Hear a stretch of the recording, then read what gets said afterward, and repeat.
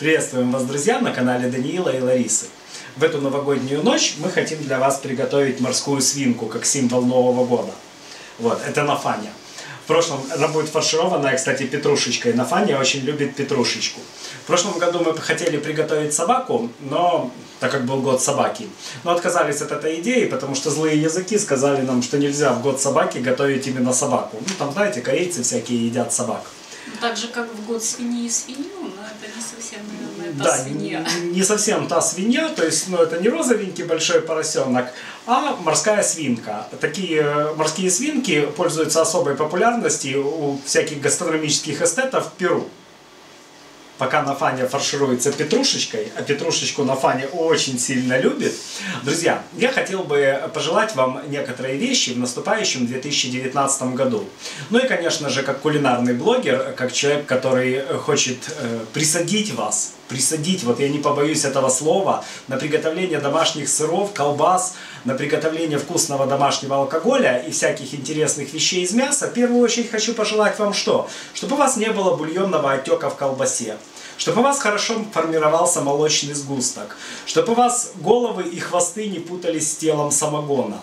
Чтобы у вас никогда не подгорал шашлык в следующем году, друзья.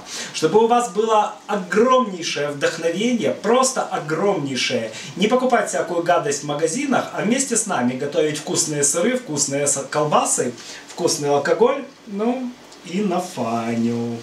На Фаню нельзя. Я же, в свою очередь, друзья, хочу вам пожелать э, мира, добра, успехов во всех ваших начинаниях. Ну и, конечно же, здоровья вам и вашим близким.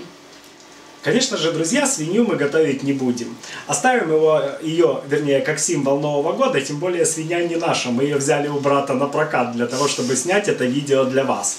Но зато наш главный дегустатор очень-очень интересуется новым животным, которое появилось у нас дома, и считает это совершенно возмутительным. Вот она бы кстати, была бы очень не против, ну все, иди, очень не против того, чтобы мы приготовили на фане. А лучше вообще не готовить, а отдать кошке просто ее продегустировать.